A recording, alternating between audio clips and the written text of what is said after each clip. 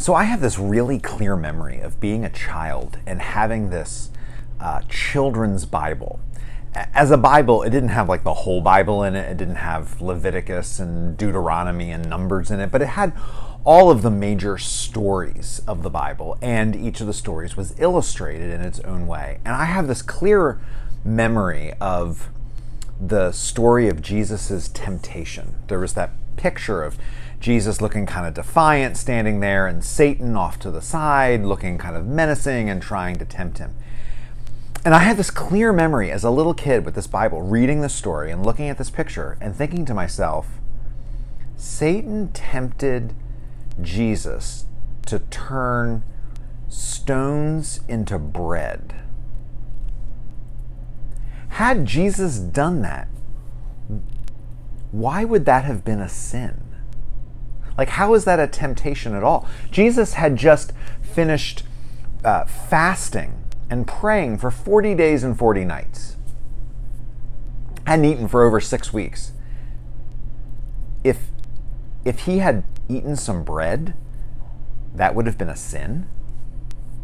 Or if he had turned the stones into bread. I mean, the first miracle of Jesus' ministry is he changes water into wine. Are you telling me that Water into wine is perfectly fine, but stones into bread, obviously that's a bridge too far. I mean, where's where's the sin here? Uh, how is how would Jesus have been sinning? How is this a temptation at all? Doesn't the guy deserve some bread? And if he could do it, couldn't he conjure up some bread for himself? So, if we look at sin as just moral failings. You know, something that we do that we shouldn't do, or something we should have done that we failed to do, then this passage doesn't make a lot of sense. But perhaps we need to expand what our understanding of sin is. In the last century, one of the greatest spiritual minds uh, was Thomas Merton. Thomas Merton was born and baptized in the Episcopal Church, and then he went off and converted and became a Roman Catholic. And he also went off and became a Trappist monk in a monastery called the Abbey of the Gethsemane in Kentucky. And uh, Trappists or Cistercians are this uh, severe, austere, version of Benedictine monks. Their, their architecture is severe, their daily um, schedule is severe, and oftentimes they spend most of their day in silence. I guess if you're a monk and you spend most of your time in silence, I guess you have a lot of free time on your hands. I don't know. Uh, but Merton wrote a lot of books, a lot of books. And most of the books that he has written are just like, became instant classics in Western spirituality. And Merton talked a lot about sin. He, um, he had a student by the name of James Finley. Now, Merton has since died, but uh, James Finley is very much alive. Uh, I think he's around 80 now. He just started a podcast. And uh, he had, he was in the Abbey of the Gethsemane, I think for six or seven years with Merton. And Merton was his spiritual director. So while they spent most of their days in silence, every week or so, or every few days, he would go and he would hang out with Merton in Merton's little hut, and James Finley would just drink straight from the source. So here's what James Finley, uh, how he describes Merton's understanding of sin. Finley writes For Merton, the matter of who we are always precedes what we do. Thus, sin is not essentially an action, but rather an identity. Sin is a fundamental stance of wanting to be what we are not. The spiritual life for Merton moves within the context of an identity given to us by God, distorted and hidden by sin and returned to us by Christ. The spiritual life for Merton is a journey in which we discover ourselves in discovering God, and discover God in discovering our true self hidden in God. Now, here is Merton uh, in his own words. Merton says, All sin starts from the assumption that my false self, the self that exists only in my own egocentric desires, is the fundamental reality of life to which everything else in the universe is ordered. Thus, I use up my life in the desire for pleasure and the thirst for experiences, for power, honor, knowledge. I know that's kind of thick and heavy, but what Finley and Merton are saying is that God creates us to be a certain kind of person. And I don't mean like he creates us like as this like group of nameless, faceless people. I mean like he creates Rick, me, to be a certain kind of person. He creates you to be a certain kind of person. To use different language, he has a dream for your life. And the spiritual life is about figuring out who that is. Who am I? Who am I meant to be? And then walking that path. And then when I step off that path from who I am in God, who I'm meant to be, that is sin. Now, sometimes that can be moral failing, right?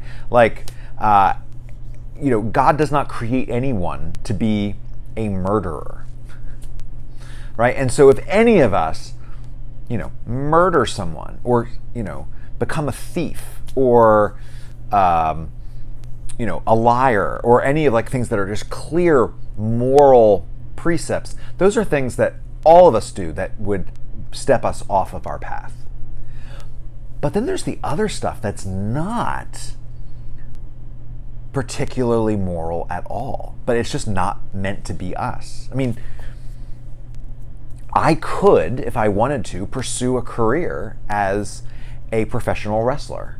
You know, I can get the the crazy outfit and like the big mustache that goes down here and and I could get a wild name and I could learn how to jump off the top ropes and give someone a pile driver or whatever it's called. I, I could do that. And that would not be immoral at all. I mean, I, you can, I guess, be a godly professional wrestler, but I'm pretty clear that that isn't what God wants me to do. And so to pursue that would be to step off my path. I could decide I'm going to be a, a mathematician. Now, I'm terrible at math, like really um, terrible at math. In fact, my constant joke is I went to seminary because there's no math. You know, there's 10 commandments, there's 12, 12 disciples. That's it. I'm like, seminary is for me.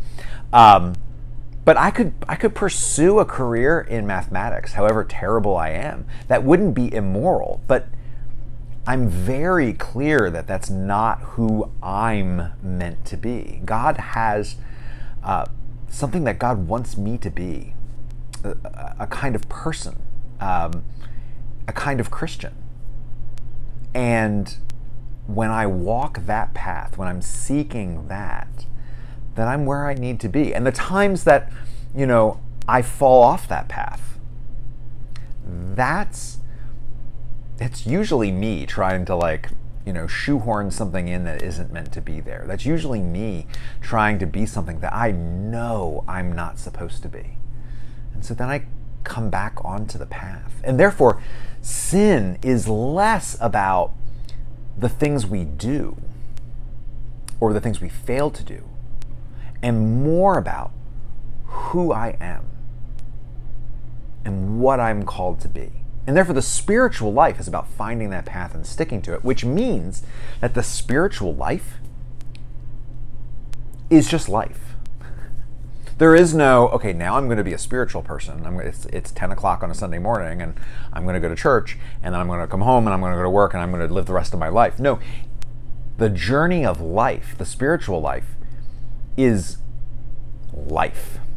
Who am I? What am I meant to do? That's it's a spiritual question, but it's not just a spiritual question, it's the journey of life. And so if we look at sin in this way, then Jesus' temptation to turn uh, stones into bread. Well, let's think about that for a minute. It wouldn't have been a moral failing for him to eat bread after fasting for 40 days. It's, if he can turn water into wine, then turning stones into bread shouldn't be a problem. But if you if he did fall into that temptation, if he did succumb, and he performed that miracle, he turned those stones into bread. It would be the only miracle in his entire ministry that was for him. Every other miracle that Jesus performs in the Gospels are for other people. He changes water into wine for other people. He heals the blind for them. He heals the deaf for them. He heals the, heals the paralyzed for them. He stills a storm. He calms a storm because of the people on the boat who are in the midst of the sea and who are scared to death. Every miracle he performs is for other people. If he changed stones into bread for himself, what if the plan that God had for Jesus was that he was meant to live his life for others? What if he was meant to use his power for others? And he was meant to he was meant to live for other people. He was meant to die for other people. And so making stones into bread, while not immoral, would have been Jesus stepping off the path that God had for him.